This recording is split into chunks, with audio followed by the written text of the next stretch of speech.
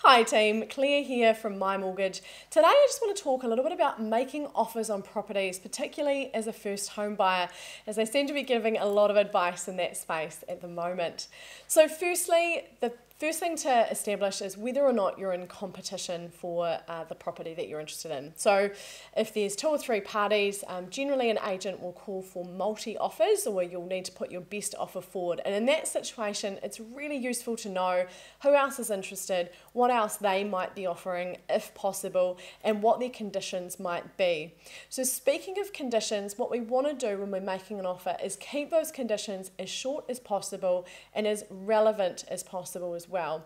So to give you an example, if we have been able to get you a pre-approval already from the bank, we may need only a shorter finance clause, so potentially only up to five working days to confirm the property.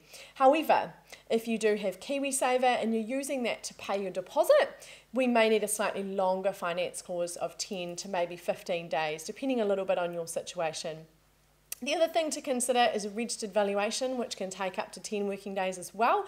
So, again, important to just talk to us about what's required or have a look at your loan offer and how we've explained it to you. If you don't have a lot of other people interested in the property, then that gives you free reign to negotiate directly with the vendor, which is an awesome position to be in.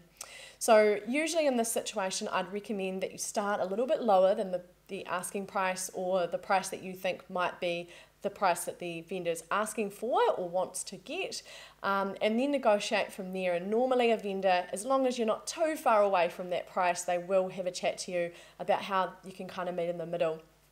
A couple of other tips on making offers try to stick with a bit of a random number. So, if you're offering somewhere around 550, try and stick with 548 or 552 um, rather than that round number because often people do go in round numbers and you may be successful um, up in competition against other people with a slightly random number. Um, the other thing to consider as well um, is whether or not the vendor wants a short settlement or a long settlement, or how you could maybe fit in with their needs. So, if the property is empty, or maybe they've moved out, they've moved into a new property, or they're selling a rental property, um, they might like a short settlement. Often, if it's been occupied for a while, unoccupied for a while, they might be paying a mortgage or paying some costs associated with the property that they'd like to make happen really quickly. So a couple of my first home buyers have said, hey, you know, two to three weeks for settlement, um, and that's probably going to satisfy the vendor's needs.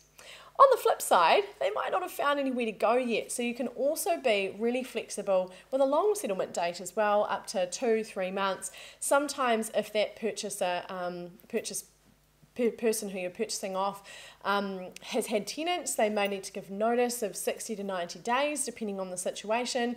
Um, so, being really flexible about that is really key as well. So, hopefully, that's given you a few tips on how to make offers on properties and how to be successful.